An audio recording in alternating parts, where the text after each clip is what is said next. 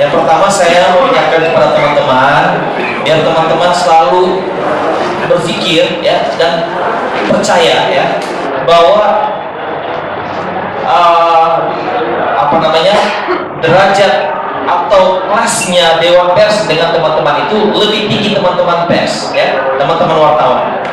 Jadi derajatnya itu di atas daripada Dewan Pers. Kenapa saya katakan derajatnya lebih tinggi coba kita lihat di Undang-Undang Nomor 40 ini bukan membahas Dewan Pers semua membahas tentang kerja pers dan kerja pers itu adalah kawan-kawan wartawan bukan Dewan Pers Dewan Pers itu tidak melakukan tugas wartawan itu yang pertama ya jadi derajatnya itu adalah lebih tinggi kawan-kawan semua daripada Dewan Pers.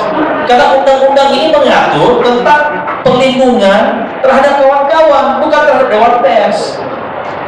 Itu yang pertama. Jadi derajatnya adalah kawan-kawan lebih tinggi derajatnya, ya. Sehingga di situ kawan-kawan tidak bertanggung jawab kepada kepada Dewan Pers. Di mana diatur undang-undang ini bahwa wartawan harus bertanggung jawab kepada Dewan Pers? Tidak ada.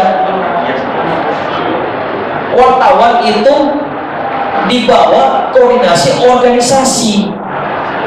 Organisasi wartawan. Organisasi pers. Bukan dewan pers. Tidak ada di sini. Coba buka. Ada nggak dewan pers punya kewenangan mengatur wartawan. Tidak itu. Malahan di sini dewan pers itu harus melayani kawan-kawan wartawan. Untuk apa? Untuk menjaga dan mengembangkan kemerdekaan dan kawan-kawan dengan tugas lapangan. Yang pertama. Yang kedua adalah mengembangkan kehidupan. Kehidupan kawan-kawan wartawan agar supaya lebih sejahtera. Jadi apa namanya? Berarti dia melayani kawan-kawan, kawan-kawan dia. Ini terbalik jadinya. Kami ini kata undang-undang loh, bukan saya yang bicara itu undang-undang yang bicara. Itu yang kedua. Jadi jelas bahwa kawan-kawan bukan bertanggung jawab pada Dewan Pers. Akan tetapi harusnya Dewan Pers yang bertanggung jawab pada kawan-kawan. Itu. Dan yang terakhir yang ketiga ya.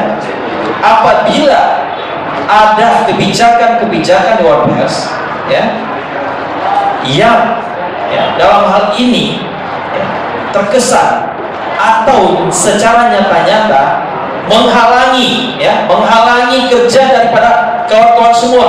Silakan lapor.